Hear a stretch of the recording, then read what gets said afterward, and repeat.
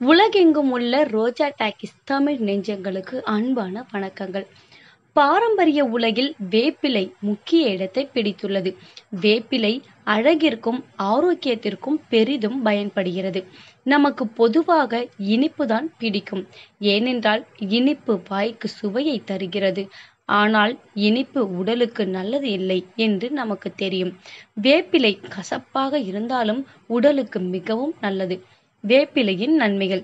வேப்பிலையை தினமும் காலையில் வெறும் வயிற்றில் சிறிது சாப்பிட்டால் நம் உடலில் உள்ள பிரச்சனைகளுக்கு இயற்கையான தீர்வாக இருக்கும். சர்க்கரை நோயாளிகள் வேப்பிலையை தினமும் வெறும் வயிற்றில் சாப்பிட்டு வருவதன் மூலம் உடம்பில் உள்ள சர்க்கரையின் அளவை வேப்பிலை கட்டுப்படுத்துகிறது. பச்சை வேப்பிலையை சாப்பிட முடியாதவர்கள் முதலில் இரண்டு டம்ளர் நீரை எடுத்து அதில் பத்து வேப்பிலை இலைகளை போட்டு கொதிக்க வைத்து வடிகட்டி சிறிது நேரம் ஆற வைத்து காலை மாலை என இரு வேளையும் குடித்து வந்தாலும் சர்க்கரை நோய் குணமாகும். சில குழந்தைகளுக்கு வயிற்று வலி எப்போதும் இருந்து கொண்டே இருக்கும். அந்த நேரத்தில் வேப்பிலையை அரைத்து குழந்தைகளுக்கு கொடுக்கலாம். வயிற்றுப்போக்கால் அவதிப்படுபவர்களுக்கு வேப்பிலை ஒரு வரப்பிரசாதம். வயிற்றுப்போக்கு உள்ளவர்கள் வேப்பிலையை பானமாக குடிக்கலாம். பானம் செய்யும் முறை. தேவையான பொருட்கள் வேப்பிலை பத்து. தண்ணீர் நான்கு டம்ளர். தேன் தேவையான அளவு. ஒரு பாத்திரத்தில் நான்கு டம்ளர் தண்ணீரை ஊற்றி அதில் பத்து வேப்பிலை இலைகளை போட்டு நன்கு கொதிக்க விட வேண்டும். நன்கு ஆற வைத்த பிறகு வடிகட்டி அதில் தேவையான அளவு தேனை கலந்து குடிக்க வேண்டும். மலேரியா நோய் உள்ளவர்களுக்கு வேப்பிலை சிறந்த மருந்து. மலேரியாவில் இருந்து விடுபட தினமும் வேப்பிலையை நீரில் கொதிக்க வைத்து காலை மற்றும் மதியம் தொடர்ந்து குடித்து வந்தால் மலேரியா நோய் விரைவில் உங்களை விட்டு பறந்து போய்விடும். காலநிலை மாற்றத்தின் காரணமாக அனைவருக்கும் வரக்கூடிய நோய்தான் சளி. இதற்கு உடனடி நிவாரணம் வேப்பிலைதான்.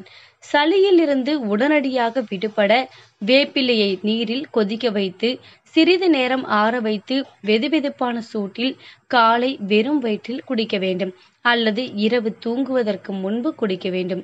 நோய் உள்ளவர்கள் மட்டும்தான் சாப்பிட வேண்டும் என்றில்லை நோய் இல்லாதவர்களும் சாப்பிடலாம். வேப்பிலையை வாரத்திற்கு ஒரு முறை சாப்பிடுவது அல்லது வேப்பிலை நீரை குடிப்பதன் மூலம் இரத்தத்தை சுத்தம் செய்கிறது. உடலில் எங்கு அடிபட்டாலும் அதற்கு எளிய மருந்து வேப்பிலை நீர். வேப்பிலையை நீரில் கொதிக்க வைத்து சிறிது நேரம் ஆற வைத்து அந்த நீரை கொண்டு காயமுள்ள இடத்தை கழுவி வந்தால் காயம் ஆறிவிடும். வேப்பிலை இலையின் மருத்துவ குணங்கள். நமது நாட்டில் பல மரங்கள் உள்ளன. ஒவ்வொரு மரங்களுக்கும் ஒவ்வொரு மருத்துவ குணம் உள்ளன. அவற்றில் வேப்ப மரத்தின் இலைகளில் உள்ள மருத்துவ குணங்களை காண்போம். வேப்பிலை கொழுந்து மற்றும் வேப்பம் பூக்களை பச்சடி செய்து அல்லது ரசம் வைத்து சாப்பிட்டு வந்தால் செரிமான கோளாறுகள் நீங்கும். இதை வாரத்திற்கு ஒருமுறை சாப்பிட்டு வந்தால் வயிற்றில் உள்ள புண்கள் ஆறிவிடும்.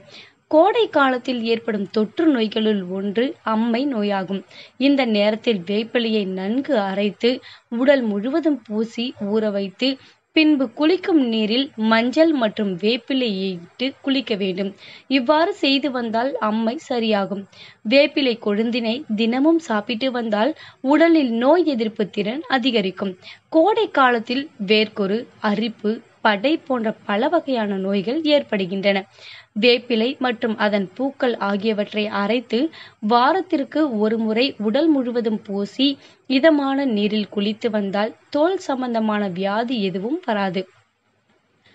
வேப்பிலையை பச்சையாக சாப்பிட்டு வந்தால் பல்வலி வராது. வேப்பிலையின் சாறு ஈறுகளில் படும்போது ஈறு சம்பந்தப்பட்ட எந்த நோயும் வராது. பற்களில் சொத்தை ஏற்படாது. வாய் துர்நாற்றம் பறந்து போய்விடும். வேப்பிலை முடி வேர்க்காலை வளர வைக்கும். அனைவருக்கும் முடி உதிர்வு என்பது இருக்கிறது. வேப்பிலை எண்ணெயை தலைமுடியில் மசாஜ் செய்து வந்தால் அது முடியின் வேர் பகுதியை தூண்டும். பின்பு பதினைந்து நிமிடம் கழித்து வெதுவெதுப்பான நீரில் குளித்து வந்தால் கூந்தல் அடர்த்தியாக வளரும். இது போல பல சுவாரஸ்ய தகவல்களுக்கு ரோஜா தமிழ் டிவியை சப்ஸ்கிரைப் பண்ணுங்க. பக்கத்துல இருக்கிற பெல் பட்டனை அழுத்தி நியூ அப்டேட்ஸையும் தெரிந்து கொள்ளுங்க.